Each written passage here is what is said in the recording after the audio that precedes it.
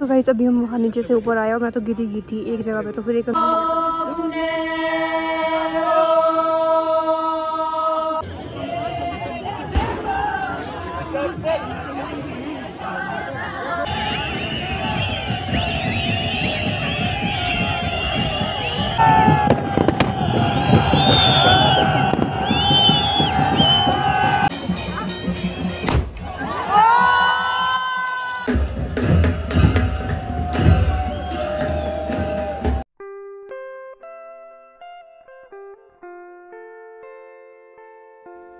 Hello everyone तो शुरुआत करते हैं इस वीडियो की।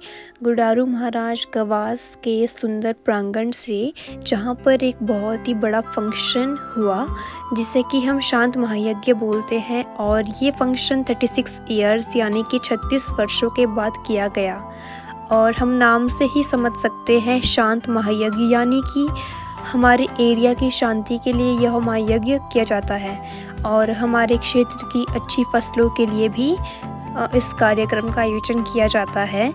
और इस फ़ंक्शन में काफ़ी देवी देवता भी बुलाए गए थे और हमें भी सभी देवी देवताओं का आशीर्वाद लेने का सौभाग्य प्राप्त हुआ।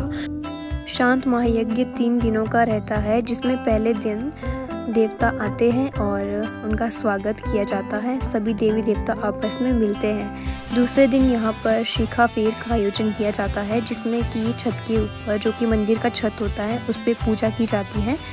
और तीसरे दिन सभी देवी देवता अपने अपने घर जाते हैं। तो तीन दिन का ये फ़ंक्शन रहता है और यही वो दरबार है, जहाँ पर बहुत भीड़ थी और बहुत ज़्यादा लोग आए थे। तो मैं आपको इस व्लॉग में, इस वीडियो में बस यही दिखाने की कोशिश करूँगी कि हमारी संस्कृति किस प्रकार से है और हमारी संस्कृति में क्या क्या चीज़ें होती हैं। स्पेशली मैं इस शांत को अटेंड करने इसीलिए गई हूँ ताकि मैं आपको अपने ब्लॉग के माध्यम से दिखा पाऊँ। और ये फ़ंक्शन सात, आठ, नौ जनवरी 2024 को हुआ। तो उम्मीद करती हूँ कि आपको मेरा ये ब्लॉग पसंद आएगा और आप आखिर तक मेरा ये ब्लॉग वॉच करेंगे। क्योंकि ऐसी भीड़ में वीडियो बनाना आपको पता है कितना ज़्यादा मुश्किल होता है। और अगर आपको कुछ समझ ना भी आए तो स्किप मत करना मेरे व्लॉग को। प्लीज़ पूरा देखना। अब करते हैं व्लॉग को शुरू। हाय एवरीवन तो आज हम जा रहे हैं एक बहुत ही बड़े फ़ंक्शन में जो कि हमारे एरिया का सबसे बड़ा फ़ंक्शन है इस बार जिसको हम चाँद महायज्ञ बोलते हैं और ये काफ़ी समय बाद होता है और 36 इयर्स के बाद ये होने जा रहा है गवास गाँव में। हे भगवान। और इतना ज़्यादा क्राउड है, हमें आधे आधे रास्ते से पैदल जाना पड़ रहा है। देख सकते हो।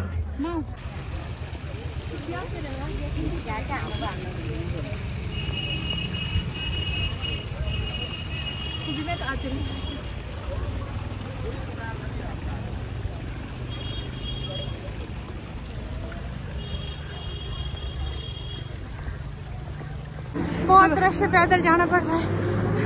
और कहीं पीछे से बस आ रही है, इसमें बहुत ज़्यादा क्राउड है और सब मज़े करके जा रहे हैं बस में।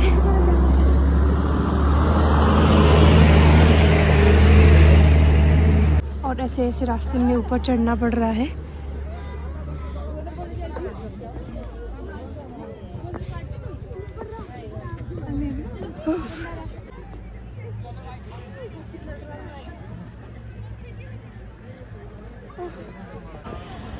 मैं तो आ जाऊँगी तुम चलो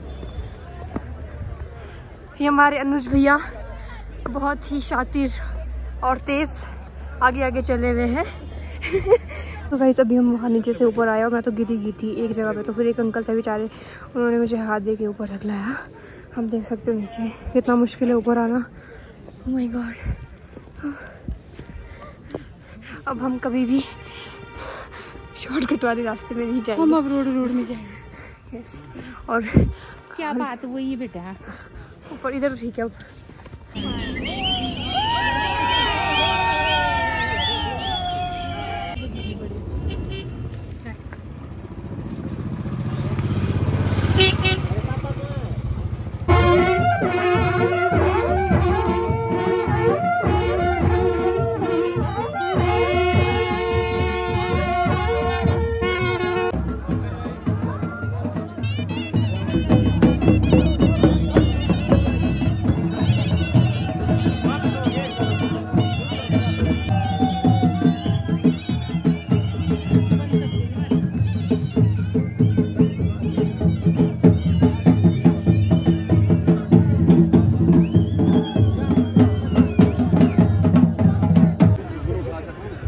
गाइस अभी हम आए हैं जाबल नारायण महाराज जी के दर्शन करने।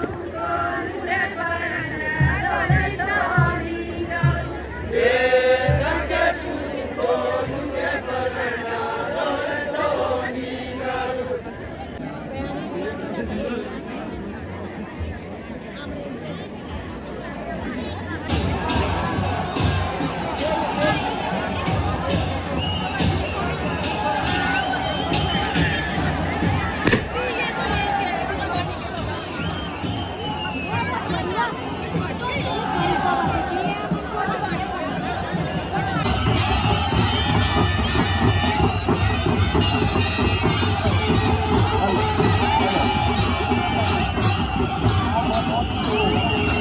you.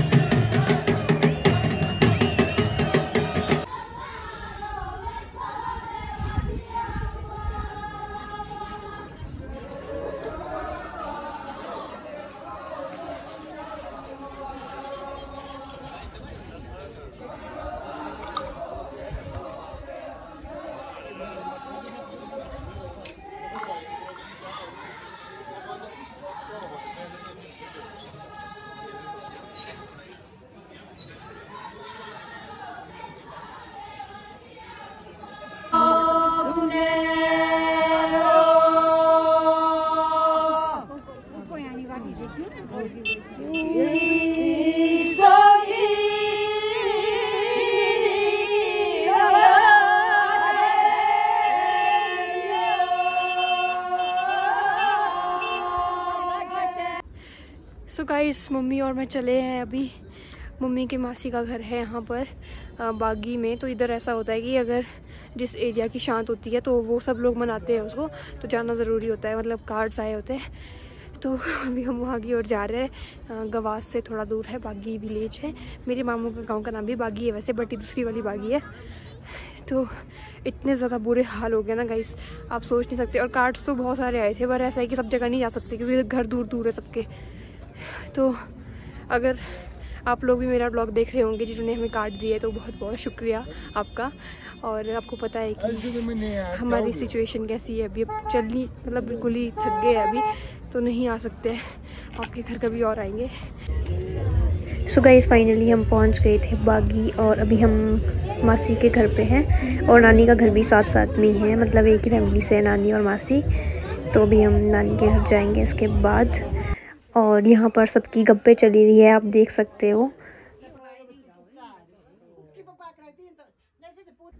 Hi everyone good morning तो शुरुआत होती है एक नए दिन की। और अभी अब बहुत ज़्यादा यहाँ पर ठंड है और नानी के घर पे हूँ। मैंने पिछले कल आपको बताया था दैन उसके बाद हम ऐसे बातों बातों में मैंने कुछ शूट ही नहीं किया, क्योंकि बहुत सारे लोग थे, फिर सब गप्पे वगैरह मार थे, फिर थोड़ा बहुत डांस भी किया। तो उसके बाद मैंने कुछ ज़्यादा शूट नहीं किया। फिर अभी हम जा रहे हैं और जिन्होंने कार्ड्स वगैरह दिए उनके घर जा रहे हैं। अच्छे लगे हुए गप्पे मारने तो अभी हम उधर जाएँगे, फिर उसके बाद यहीं आएँगे फिर से। बाकी देखते आज शायद घर जाएँगे।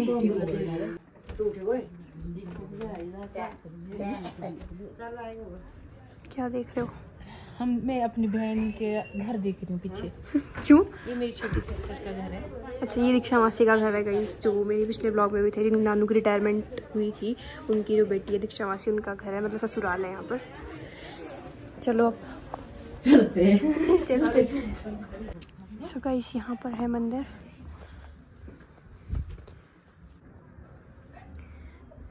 और ये है पुराने घर। ऐसे रास्ता होता था पहले जाने के लिए।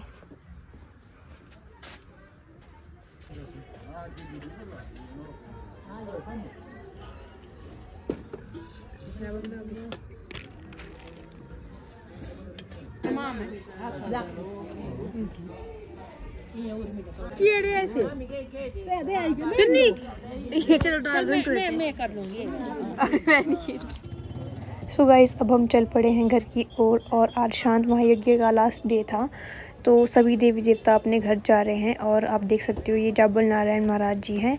ये भी आज अपने घर जा रहे हैं। अपने घर तो नहीं, इनको किसी ने इनवाइट किया है अपने घर पे, वहाँ जा रहे हैं। बट फ़िलहाल गवास गाँव से तो अब जा ही रहे सारे फ़ंक्शन का लास्ट डे था आज। तो अब हम हम भी निकलेंगे यहाँ से घर की ओर और और फ़ंक्शन बहुत ज़्यादा अच्छा रहा। और यहाँ तक मेरा व्लॉग वॉच करने के लिए आपका बहुत बहुत धन्यवाद। मेरे व्लॉग को इतना प्यार देने के लिए और सपोर्ट करने के लिए आपका बहुत बहुत थैंक यू कि आप मेरे पूरे व्लॉग्स देखते हो। So thank you so much guys और मिलते हैं मेरे नेक्स्ट ब्लॉग में बहुत जल्द। तो मेरे साथ मेरे ब्लॉग में ज़रूर बने रहिए। Bye bye